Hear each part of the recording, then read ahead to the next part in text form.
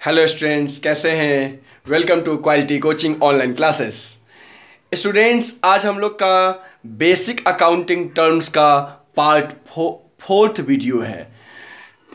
Part first second third already हम discuss कर चुके हैं बट एक बार हम मेमोराइज कर देते हैं आपको कि हमने पार्ट फ़र्स्ट में पार्ट सेकेंड में और पार्ट थर्ड वीडियो में क्या पढ़ा है। देखिए पार्ट फ़र्स्ट वीडियो में हमने पढ़ा है capital drawing and liabilities part first में हमने पढ़ा है capital, drawing and liabilities. Part second video में हमने पढ़ा है assets and its type. Assets क्या होते हैं और इसके टाइप्स क्या क्या हैं। पार्ट थर्ड वीडियो में हमने पढ़ा है capital receipt revenue receipt capital expenditure revenue expenditure and deferred revenue expenditure ये नाइन टर्म ऑलरेडी हम डिस्कस कर चुके हैं और आज हम लोग का पार्ट फोर्थ वीडियो है और पार्ट फोर्थ वीडियो में इस टर्म के बाद नेक्स्ट टर्म हम डिस्कस करने जा रहे हैं, जो पहला टर्म आज का हमारा है गुड्स आज का हमारा पहला टर्म है गुड्स ओके स्टूडेंट देखिए गुड्स क्या होता है? गुड्स को हम लोग हिंदी में माल कहते हैं। माल, जैसे आप बिजनेसमैन अगर हैं या आपके फादर या मदर कोई भी बिज़नेस से ताल्लुकात रखते हैं तो आप माल सब सुने होंगे कि बिज़नेस में माल आया है। माल मीन्स गुड्स आया है।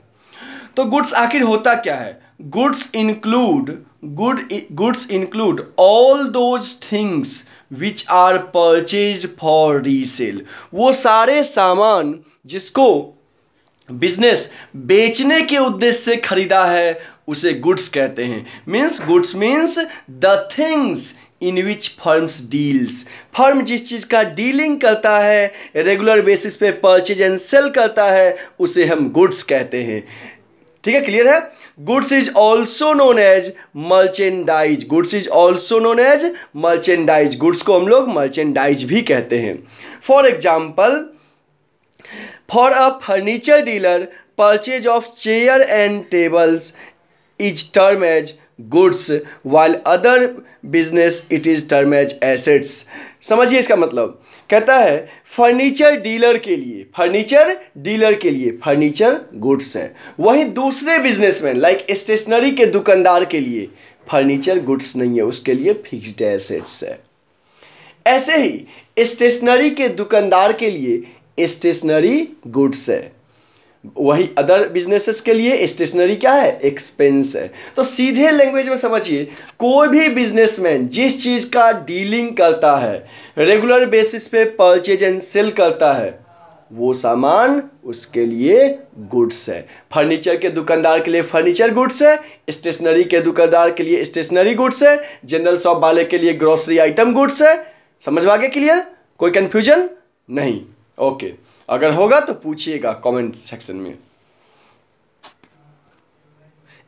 स्टूडेंट्स अब हमारा नेक्स्ट टर्म है परचेजेस परचेजेस क्या होता है? The term purchases is used only for the purchase of goods in which firms deals business deals purchases का मतलब होता है बिज़नेस जिस चीज़ का डीलिंग करता है गुड्स का डीलिंग करता है तो गुड्स तो आपको समझ में आ गया, जिस चीज़ का डीलिंग करता है, उसे गुड्स कहते हैं। और अगर बिज़नेस गुड्स खरीदता है बिज़नेस में तो गुड्स जब खरीदता है तो उसके लिए क्या टर्म यूज़ करते हैं? Purchases there are two types of purchases purchases दो तरह के होते हैं, एक कैश परचेजेस दूसरा क्रेडिट परचेजेस जब गुड्स कैश में खरीदा जाता है। जब गुड्स कैश में खरीदा जाता है तो उसे कैश परचेजेस कहते हैं और जब गुड्स क्रेडिट पे परचेज किया जाता है तो उसे क्रेडिट परचेज कहते हैं। ठीक है? ओके।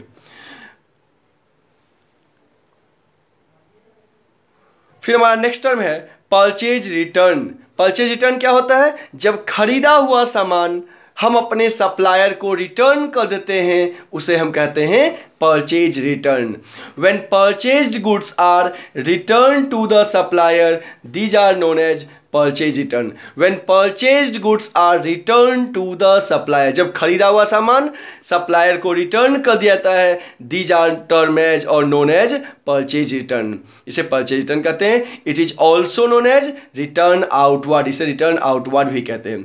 आपके मन में क्वेश्चन आएगा कि सर, जब सामान खरीदे तो फिर रिटर्न क्यों करेंगे? हो सकता है वो डिफेक्टिव सामान आ गया हो। हो सकता है प्रोडक्ट लेट डिलीवर्ड हो गया हो। तो हम खरीदा हुआ सामान क्या कर देंगे? रिटर्न कर देंगे। या सेलर ने प्राइस ज़्यादा चार्ज कर लिया हो। कोई भी एक रीजन होगा तो परचेज किया हुआ सामान को जब हम रिटर्न करते हैं उसे परचेज रिटर्न कहते हैं। या रिटर्न आउटवर्ड करते हैं। It is deducted from the purchases to calculate net purchases net purchases calculate करने के लिए परचेज में से हम क्या कर लेते हैं? परचेज रिटर्न को माइनस कर लेते हैं। मीन्स अगर आपको नेट परचेजेज कैलकुलेट करना है तो एक फॉर्मूला होगा purchases minus purchase return purchase return या रिटर्न आउटवर्ड ठीक है? कोई कंफ्यूजन कि net purchases equal to purchases minus purchase return अगर कोई कंफ्यूजन होगा स्टूडेंट्स तो हमारा कॉन्टैक्ट नंबर यहाँ पे दिया हुआ है। आप कभी भी कॉल कर सकते हैं व्हाट्सएप कर सकते हैं और अपना कंफ्यूजन पूछ सकते हैं। कॉन्टैक्ट नंबर है eight six seven six zero eight zero eight five eight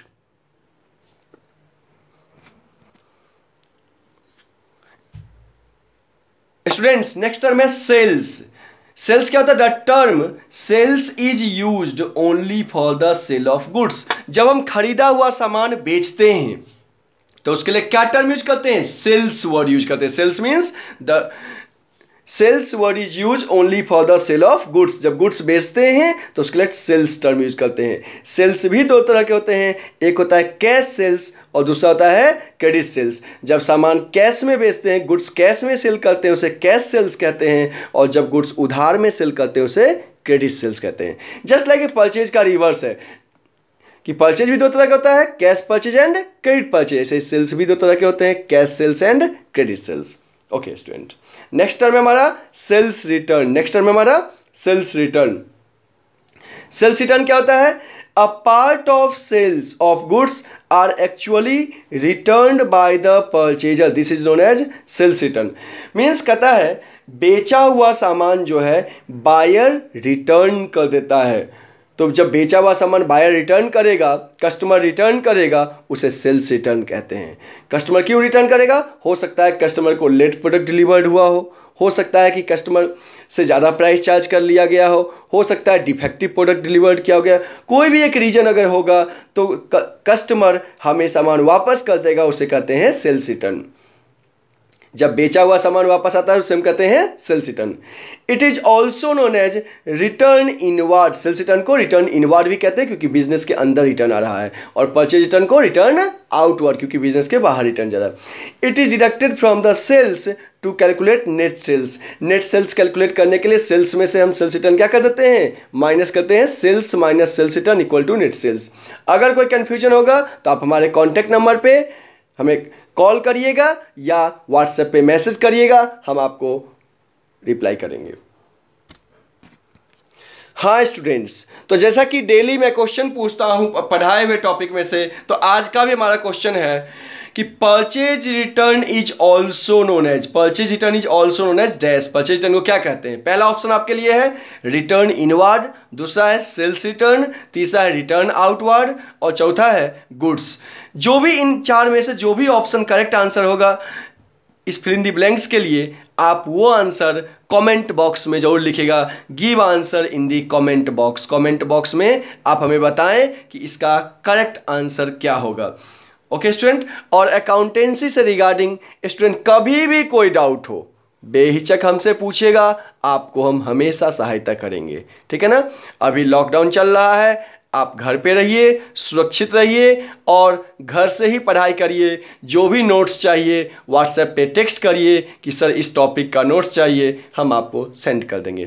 Thank you for watching our video students last में मैं एक बात कहना चाहूँगा, इस वीडियो को आप अधिक से अधिक अपने फ्रेंड्स को शेयर करिए स्कूल फ्रेंड्स को शेयर करिए, ताकि वो जान पाएँ कि कॉमर्स क्या चीज़ होती है, और अभी से ही वो पढ़ाई कर सके। और अभी तक अगर हमारे चैनल को आप सब्सक्राइब नहीं किए हैं तो इंस्टेंटली सब्सक्राइब कीजिए और बेल आइकन को ज़रूर दबा लीजिए, ताकि वीडियो अपलोड होते ही पहला नोटिफिकेशन आपको मिलेगा। धन्यवाद।